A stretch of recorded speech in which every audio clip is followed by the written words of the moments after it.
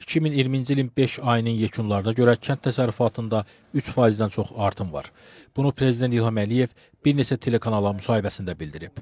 Aqrar Tədqiqatlar Mərkəzinin direktoru Firdovsi Fikrətzadə deyir ki, karantin dövründə kənd təsərrüfatı sahəsinə verilmiş sərbəstlik bu artımı şərtləndirən amillərdən biridir. Kənd təsərrüfatı istehsalı prosesi e, e, sərbəstliyi təbii ki, mövcud prosedurlar, e, müvafiq prosedurlar çərçivəsində təmin olunsun. Bununla bağlı hökumətin verdiyi qərarda həm kənd təsərrüfatının istehsal prosesi, həm kənd təsərrüfatı istehsalını dəstəkləyən, onlara xidmət göstərən, onların məhsullarını təsis edən e, sektor Eyni zamanda kənd təsərrüfatı məhsullarını, yetişmiş məhsulları toplayan, tədarük edən və onu ticarət nöqtələrinə, istehlakçılara çatdıran biznes fəaliyyətinə demək olar ki, tam sərbəstlik verildi, təbii ki, müvafiq prosedurlar çərçivəsində. Bunun da nəticə etibarı ilə özünü onunla göstərdi ki, bizim həm kənd təsərrüfatı üzrə istehsal göstəricilərimiz e, bütün məhsullar üzrə yüksək artım dinamikası nümayiş elətdirdi.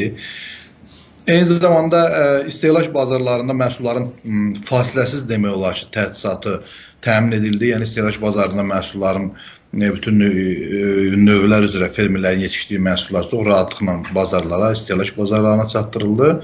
E, digər bir e, pozitiv e, nəticə isə budur ki, bizim ixrac göstəricilərimiz də artdı. Tərəvəz üzrə bizim ixrac göstəricilərimiz artdı. Kartof üzrə bu il bizim faraş kartof üzrə ixrac göstəricimizdə demək olar ki, yeni rekord müəyyənləşdirildi.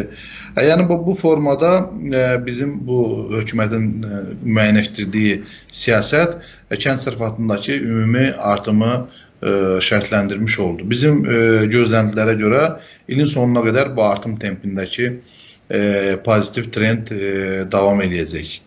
E, təbii ki, pandemiyanın e, mənfi təsirlərindən irəli gələn bəzi neqativ epizodlar da var.